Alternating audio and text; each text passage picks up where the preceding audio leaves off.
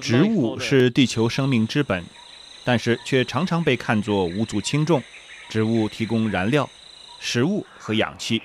最新的研究发现，我们正失去多少植物？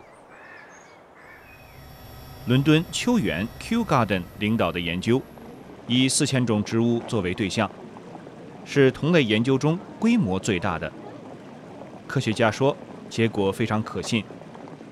Each plant we lose potentially an important part of an ecosystem that might collapse. We don't know which plant is the linchpin of the ecosystem. It's potentially a foodstuff for the future when our current foods are no longer suitable because of climate change.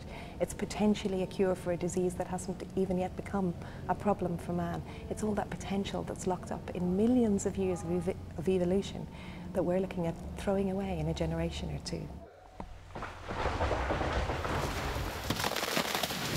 trees 这 bites 棵 the 硕 dust. 大无朋的树木毁于一旦。这是加纳的热带雨林，每一棵树倒下，代表对类似物种的一次打击。热带雨林遭受的打击最大。 Much of the work was done here in this huge collection of plants, and what the researchers have found is that one in five species is threatened with extinction, like this one, a type of olive tree now lost forever. The fear is that thousands more could go the same way. David Shukman, BBC News at Kew Gardens.